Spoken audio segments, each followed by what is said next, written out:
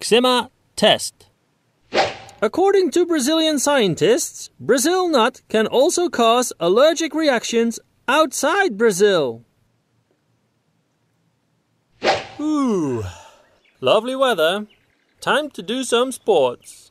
Bit hungry though. Take out that delicious chocolate bar. But stop right there. Huh? What if this chocolate bar contains something bad for you?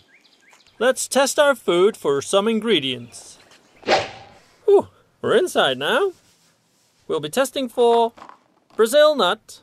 In the test kit, we'll find the necessary items extraction fluid, collection tubes, and test strips.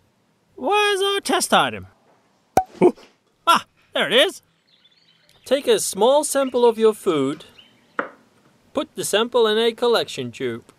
Add some of the extraction fluid. Now give it a good shake. That's it.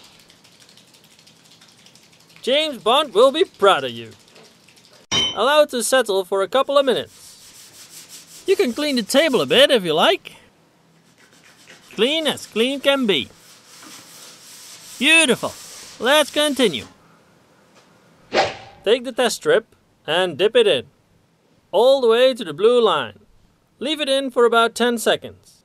Remove the test strip and place on a clean horizontal surface. Wait for the results. There are three possibilities.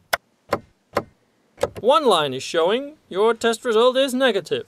If two lines appear, it means a positive test. The third option is an invalid test, with no line showing. In this case, check procedures and try again. Ah, ah. Based on the result, you can decide what to do with your food. Don't worry, he's alright. For more information about Xematest, check xematest.com.